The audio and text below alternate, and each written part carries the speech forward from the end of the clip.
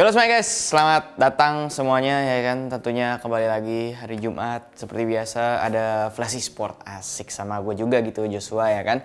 Dan seperti biasa juga ada beberapa berita yang menarik tentunya untuk kita simak ya kan? Di hari ini tentu aja langsung aja nggak usah banyak bacot lagi ke berita pertama itu. Ada uh, dari Evos Reborn nih yang tiba-tiba setelah ngumumin ngedatengin beberapa pemain baru untuk divisi PUBG Mobile ya. Kini dia lagi-lagi ya masih belum puas itu menghadirkan Sinyo dan juga Cafe. Waduh, the best nih. Ini mendatangannya pendatangannya agak sedikit ngagetin emang karena uh, Sinyo sendiri sebelumnya cabut ya dari BTR dan Sinyo sendiri adalah coach dari Bigetron Red Lions. Dia cabut dari BTR katanya untuk urusan keluarga lah bisa dibilang gitu. Tapi karena dia sekarang bergabung menuju EVOS Reborn gitu sama si Cafe. Cafe sendiri sebelumnya merupakan pemain untuk uh, Rubik FCN ya yang memang tentunya memiliki performa yang juga bisa dibilang spesial.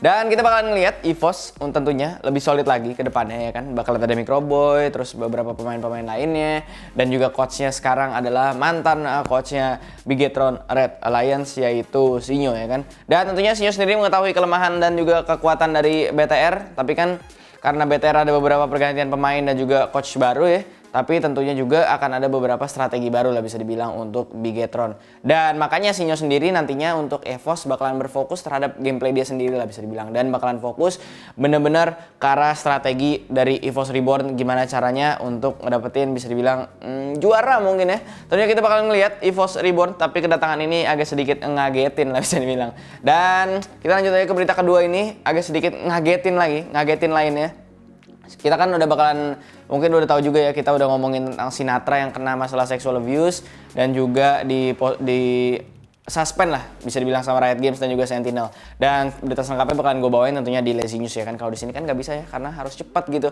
Dan tentunya karena uh, Sinatra ini nggak bisa main apa segala macam akhirnya digantiin. Dan ini yang ngegantiin itu si Tense bro. Ya the best ya kan Tens kalau lihat sekarang Twitternya professional player for at Sentinels. Gila. The best, the best. Dan sekarang uh, mungkin Tens bakalan tetap main duelist, tapi nggak tahu siapa yang bakalan ngegantiin posisi Sinatra ya kan sebagai seorang inisiator. Dan tentunya kita bakalan ngelihat Tens main untuk Sentinel bersama Shazam ya kan dan lain-lain untuk di Valorant Masters. Asik nih, seru nih ya kan. Tens is back tapi nggak ke C9 ke Sentinel dan dia sendiri bakalan cuma sebagai on loan atau pinjaman yang bisa bilang stand in juga untuk ngegantiin Sinatra supaya roster ini lengkap dan bisa dibilang berdua. Tentunya kita bakalan ngeliat gimana penampilan Sentinel ya kan? Yang sekarang aja udah strong gitu ditambah sama Tens. Tapi nggak tahu ya karena waktunya cukup singkat juga mungkin untuk latihan bersama tim ini bersama Sentinel yaitu Tens. Tapi tentunya kita bakalan ngeliat gimana performance nanti. Kalau menurut gue sih uh, Sinatra memang tetap tetap memang perfectly fit untuk Sentinel ya bisa bilang untuk line up sekarang. Tapi memang untuk Ten sendiri ya dia adalah salah satu duelis terbaik mungkin untuk sekarang untuk di Valorant ya kan kalau lu tahu juga Ten memang orang gila gitu kan. Tuh kita bakalan lihat gimana performance Sentinel tapi ngomongin tentang itu semua kita pindah dulu ke Mobile Legends ya kan. Tentunya ada pendatangan-pendatangan pemain lagi. Sebenarnya banyak bakalan yang bakalan uh, kedatangan pemain-pemain ini perpindahan karena memang menuju roster lock juga. Tapi kalau untuk MPL banyak yang ternyata di pertengahan ini rehat ya kan. Salah satunya One di dari EVOS. Dan karena 01 slotnya akhirnya EVOS mendapatkan uh, Versik ya kan pemain yang mengisi EVOS Icon atau tim tier 2-nya yang bermain di MDL. Memang versi sendiri bisa dibilang uh, kemampuannya cukup apa ya cukup baik bahkan di saat EVOS Academy di NMA season 2 seingat gue gue lupa juga tapi tentunya versi sendiri bakal melengkapi EVOS Legends yang sebelumnya dia bermain di EVOS Icon so kita bakalan lihat karena One sendiri rehat untuk sekarang ya kan dan EVOS bahkan uh, kehilangan One ya. Katanya bakalan kalau El Clasico tuh uh, versus RRQ nggak ada One nggak asik. Tapi kan RRQ juga performancenya sekarang lagi bisa dibilang cukup kurang karena beberapa pemainnya juga rehat. Sebenarnya banyak yang rehat untuk MPL ID Season 7 ini.